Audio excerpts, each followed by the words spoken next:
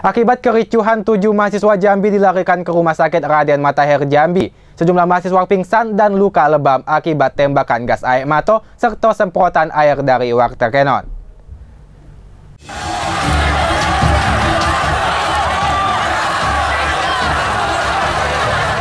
Kantor DPRD Provinsi Jambi Senin siang mencekak polisi memukul mundur mahasiswa dengan tembakan gas air mata serta semprotan air dari water cannon.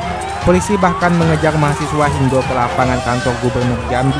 Akibatnya sejumlah mahasiswa terluka dan pingsan.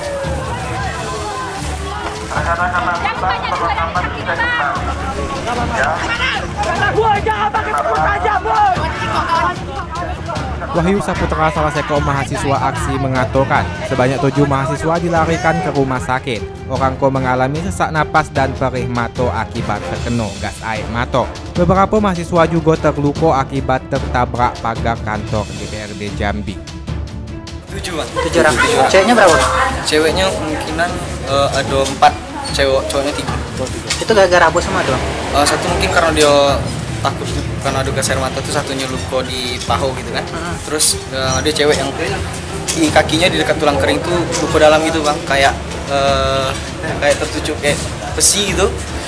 Terus uh, empat empat orang kayak kena gas air mata jadi sisa terus satunya belum ada sadarkan diri sampai sekarang. Sementara itu, Wakapolda Jambi Brigjen Pol Charles Bonardo Sadutua Nasution mengatakan, aksi pengamanan yang dilakukan polisi sudah sesuai standar operasional prosedur ia terus menghimbau mahasiswa untuk tidak melakukan aksi anarkis. Ketika tadi kami menerima para mahasiswa, kami ajak mereka berdialog dengan Bapak Ketua DPRD. Perwakilannya tadi sudah masuk ke dalam dan kita arahkan. Kemudian mereka tetap memaksa untuk masuk. Padahal semua tuntutannya sudah dipenuhi di tingkat pusat. Mereka tetap memaksa untuk masuk akhirnya tadi dilakukan tindakan terukur mengundur mereka sehingga situasi sudah kondusif. Asar Patahangi, Cek TV, Ngabari.